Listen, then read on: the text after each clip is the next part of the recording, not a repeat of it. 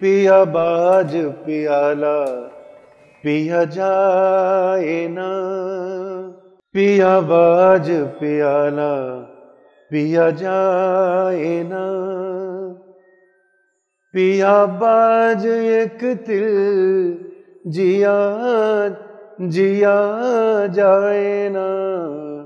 पिया बाज पियाला, पिया जाए ना। पिया बाज, पियाला। प्याला, सागर, या जो कहें आप, शराब वगैरह, जो भी है, एक पिया ना, पिया नहीं जा सकता। और उसके बगैर एक तिल मतलब एक पल के लिए भी जिया जिया जिया जा नहीं सकता। इसका जो बैकग्राउंड है, ये हैदराबाद शहर की बात है। जब हैदराबाद शहर नहीं बना था, गोलकुंडा फोर्ट में कुतुब शाही डायनेस्टी रहती थी। और कुली कुतुब शाह जो थे, जब वो तख्त पर नहीं बैठे थे, उनके वाले साहब थे। और वो हुआ ये कि इनका इश्क हो गया एक डांसर से, जिसका नाम था भागमती। और जब भागमती से इनका इश्क हो गया तो वो एक मूसा नदी है, मूसा नदी पार करके उसके गाँव पर जा उससे उससे मिलने जाते थे। तो कई बार ऐसा हुआ कि मूसा नदी में बाढ़ आई, बारिश के ज़माने में। और अपने घोड़े पर जाते थे और एक दो बार ऐसा हुआ कि वो तकरीबन बह गए थे पानी से, पानी के बहाव से।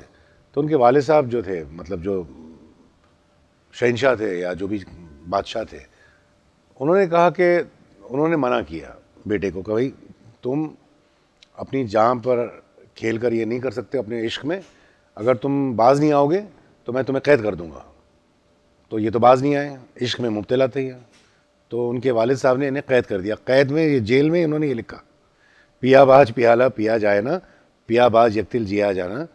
और अपने शहर के बारे में जो मनाना चाहते थे, भागमती से इन्होंने बाद में शादी की और शादी करके उनका नाम रखा हैदर महल।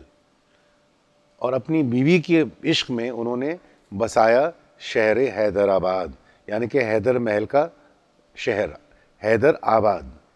ये एक्चुअली कहानी है कहानी नहीं है, ये ये हकीकत है, शहर है हैदराबाद की। ये शुरुआत हुई हैदराबाद। पिया बाज, पियाला, पिया जाए ना। पिया बाज, पियाला, पिया जाए ना। पिया बाज एक तिल जिया जिया जाए ना पिया बाज पियाला पिया जाए ना।